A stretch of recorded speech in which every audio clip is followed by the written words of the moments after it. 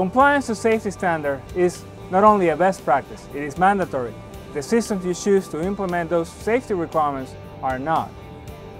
My name is Luis Duran with ABB. In the next few minutes, we'll be discussing three key benefits that process manufacturers are finding in replacing their legacy safety systems with new ones that still maintain their SIL requirements. The most obvious issue of these legacy systems is communication, their ability to integrate to basic process control systems. The integration effort typically takes two to three months. It is expensive. It is custom made, requiring special coding conventions. Not only that, development of custom code without proper controls is associated to more errors. Errors that according to a recent study by the Health and Safety Executive is connected to at least 70% of the root causes of incidents in the industry. Today, it is possible to bring all of the information that is available on the safety instrumented system, bring it into the basic process control system without the need of a special custom code, special interfaces, and without compromising the SIL of the application.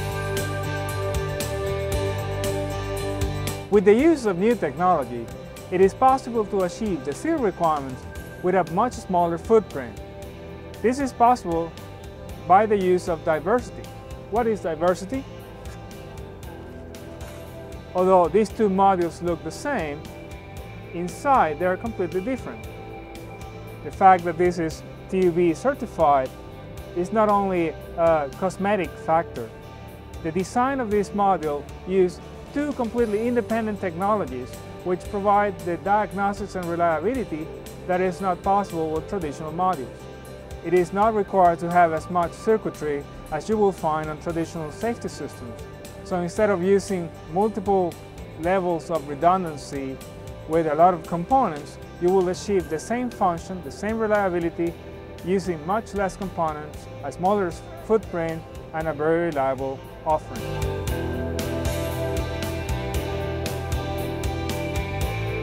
Before, if you have an issue in, in, the plant and you want to track information from your safety system, it was near to impossible to find that information or even to collect that information and present it to the operators in the plant. With today's integration capabilities, all of that is long gone. That information is ready at, the, at your fingertips from the process's place. Today we have reviewed three benefits of using modern technology in safety instrumented systems.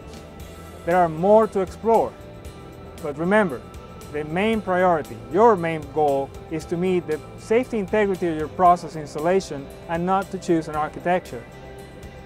Again, thank you for your time. My name is Luis Duran with ABB.